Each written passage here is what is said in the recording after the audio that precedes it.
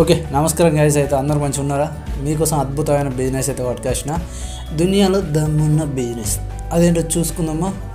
అదేంటో చూసుకోవే ముందు మీరు అయితే మా ఛానల్ సబ్స్క్రైబ్ చేసుకున్నది అయితే బెల్ ఐకాన్ నొక్కండి.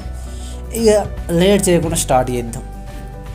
ఈ దునియాలో చూసుకుంటే ఓవరాల్గా సిటీ లోపల చూసుకుంటే ఈ బిజినెస్కి అయితే దమ్ము ఉంది. ఒక మెయిన్ సిటీలో చూసుకుంటే ఆయిల్ మేకింగ్ బిజినెస్ అనేది ఆయిల్ తయారు చేయడం. అంటే నువ్వులతోటి శనగలతోటి ఆయిల్ తీయడం అన్నట్టు. ఇది ఎట్లా అంటే మన సిటీలో చూసుకుంటే దాదాపు ఒక నాలుగు ఐదు మిషన్లు మాత్రమే ఉన్నాయి. ఓవరాల్గా సిటీలో చూసుకుంటే అదే మండలంలో ఒక మిషన్ లేదు. పల్లెటూర్లలో ఆయన దగ్గర లేదు. ఒక ఒక సిటీకి అయితే ముప్పై నలభై మండలాలు ఈజీగా ఉంటాయి కమ్సే కమ్. ఒక్క ఊరికి వేసుకున్న ఒక్క మండలానికి వేసుకున్న ఇరవై ఊళ్ళు ఒక్కొక్క మండలంలో ఇరవై ఐదు ఒక్కొక్క మండలంలో పదిహేను ఊళ్ళు ఇట్లుంటాయి. దాన్ని బేస్ చేసుకొని మనం ఈ బిజినెస్ పెట్టినాం అనుకో ఇందులో చాలా అధిక లాభాలు అయితే పొందవచ్చు. అది ఎలాగో నేను చెప్తాను. సోది లేకుండా సింపుల్ చెప్తా. మిషన్ చెక్ కనుక టెన్ హెచ్పి అంటే త్రీ పీస్లో టెన్ హెచ్పి దీని ధర వచ్చేసి రెండు లక్షల రూపాయలు. దీనికి దాదాపు గంటకి ఎంత ఇస్తుంది ఎనభై కిలోల దాకా గంటకి ఎనభై కిలోలు తీస్తుంది కమ్సే కమ్. గంట సేపు పడితే ఎనభై కిలోలు. ఈ ఎనభై కిలోల దానికి ఎంత వస్తుంది మనకు?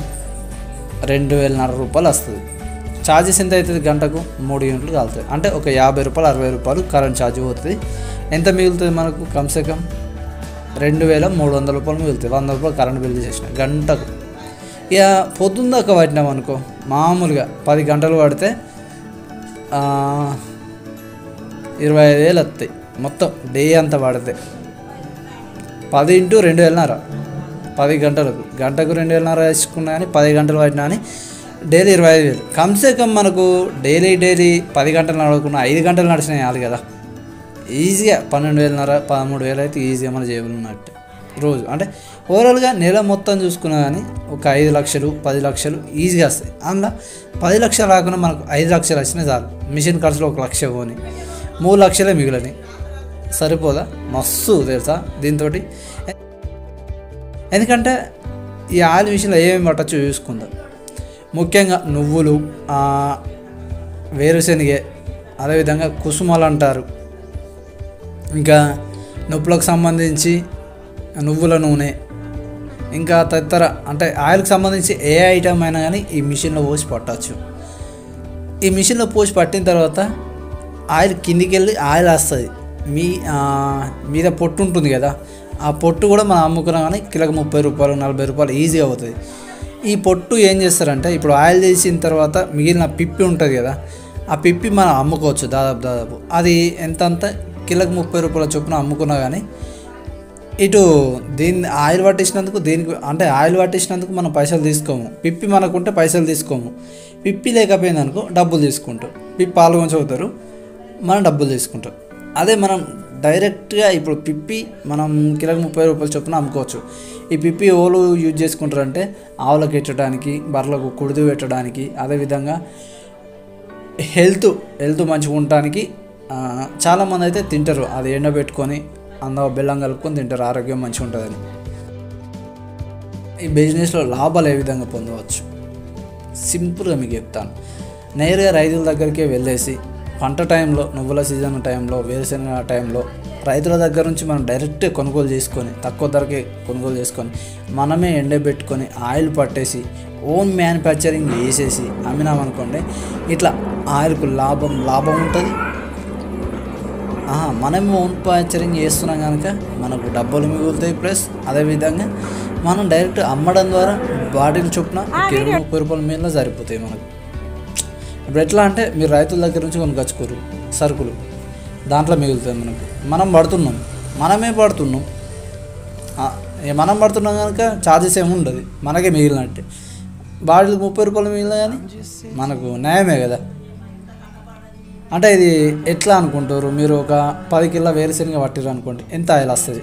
పది కిలో వే వేరుశనగ పడితే కమ్సే కమ్ ఐదు కిలోలు వెళ్తుంది అంటే ఐదు కిలోలు తరగపోతే ఐదు కిలోలు వెళ్తుంది కొన్నిట్లలోనేమో ఆరు కిలోలు వెళ్తుంది అంటే వేరుశనగ ఎంత మంచిగా ఉంటే అంతగానో ఆయిల్ వెళ్తుంది అన్నట్టు మనకు. ఇక ఈ మిషన్ చూసుకుంటే రిపేర్కి వచ్చేసి రిపేరింగ్ ఐటమ్స్ అంటే ఏమన్నా రిపేర్ వస్తుందా? మిషన్ ఇట్లా తెచ్చుకున్నాం వాడుతున్నాం అంతా మంచిగా ఉంది. ఏమైనా రిపేర్ వస్తుందా అని అనుకుంటే మాత్రం రిపేరింగ్ కూడా వీళ్ళు వన్ ఇయర్ వారంటీ ఇస్తారు. మోటార్కి తప్ప మీ మిషన్కి ఇస్తారు. ఏమైనా ఖరాబ్ అయితే వాళ్ళు వచ్చి రిపేర్ చేసిపోతారు. వన్ ఇయర్ తర్వాత కూడా మిషన్కి ఏం రిపేర్ అయినా మనం కాల్ చేసినాం అనుకోండి వాళ్ళే వచ్చి అసలు ఏం ఏం కథ అన్ని చూసుకొని మళ్ళీ ఐటమ్స్ వచ్చి వాళ్ళే రిపేర్ చేసి వెళ్ళిపోతారు. సర్వీస్ ఛార్జెస్ ఇచ్చేస్తే వెళ్ళిపోతుంది మిషన్ మీద. మీరు మిషన్ గురించి భయపడిన పనే అవసరం లేదు.